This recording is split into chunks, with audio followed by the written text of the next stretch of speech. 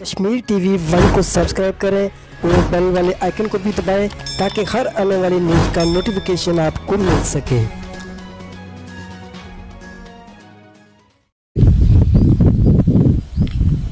السلام علیکم دوستو پاکریہ نیوز کے ساتھ میں ہوں محمد امجد تو دوستو، اس وقت یہ جو آپ کو یہ ایک نشاندہی ہے، یہ سرحدی ایریا ہے، یہ اس طرف یہ پاکستان ہے اور اس طرف یہ ضلع بمبر کا علاقہ ہے۔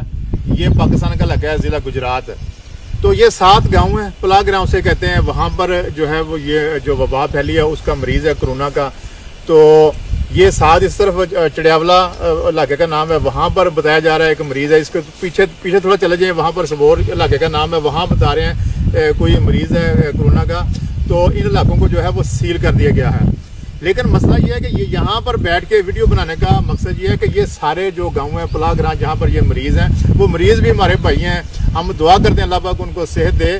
یہ سارے جو پاکستان کے یہ ساتھ ساتھ جو جتنے گاؤں ہیں، یہ سارے ماشاء ہم سے محبت کرتے ہیں، بڑے اچھے لوگ ہیں۔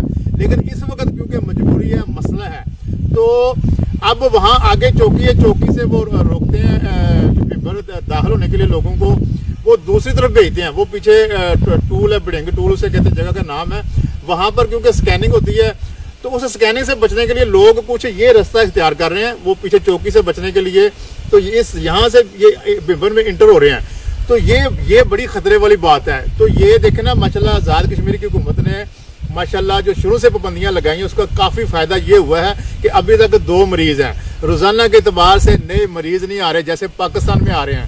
تو یہ جو گاؤں والے ہیں، یہ جو اس طرف گاؤں والے ہیں، جو پاکستان کے جو ساتھ جتنے دیہات ہیں، یہ پاکستان کے اگر بمبر کے لوگ اس طرف آتے ہیں تو وہ روکیں ان کو، روکنا چاہیے بھی آپ اپنے علاقے میں رہیں، اپنے گھروں میں رہیں۔ تو بمبر کے جو لوگ ہیں، ان کو بھی روکنا چاہیے بھی آپ اس طرف نہ آئیں، اپنے علاقوں میں ٹھہریں، گھروں میں رہیں۔ تو یہ کیونکہ کافی مسئلہ نظر آ رہا ہے، کافی لوگ اس رستے کو اختیار کر کے یہ بیچ بیچ میں سے بمبر میں داخل ہو رہے ہیں۔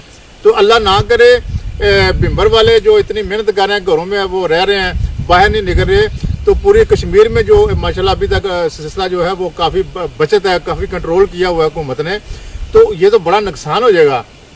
تو اس لیے انتظامیہ سے بھی گزارش ہے کہ یہ جو سڑک جا رہی ہے، آگے چوکی ہے، تو کوئی ترتیب ایسی بنائی جائے کہ جو لوگ بیچ میں بیچ میں سے جو رستے اختیار کر کے اندر داخل ہوتے ہیں ان کے اوپر کوئی جرمانہ کو وافر مقدار میں جو اچھا صحیح ٹکا کے کوئی ایسا جرمانہ جو ہے وہ رکھا جائے تاکہ یہ جو لوگ بیچ بیچ میں سے رستے جو اختیار کر کے اندر آ رہے ہیں، جا رہے ہیں، یہ ایسے نہ ہو۔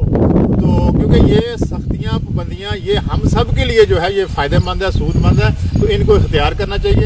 تو امید ہے کہ آپ کو یہ جو میرا ویڈیو پروگرام ہے پسند آیا ہوگا۔ تو دوستوں آپ سے جانا چاہتا ہوں۔ بہت شکریہ۔ السلام علیکم۔ اللہ حافظ۔